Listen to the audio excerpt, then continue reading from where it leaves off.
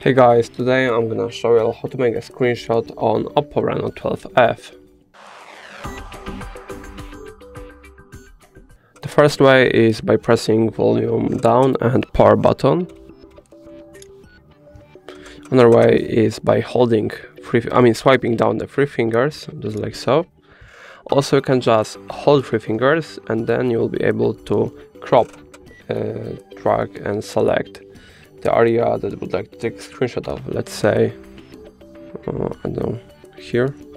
Yeah, now I can align it. Oh, I didn't meant to do it. Mm, okay. Yeah, and here. Alright, and then just tap on this icon. And that is going to be all. If I helped you, please leave a like and subscribe. And if you have any more questions, please let us know in the comments.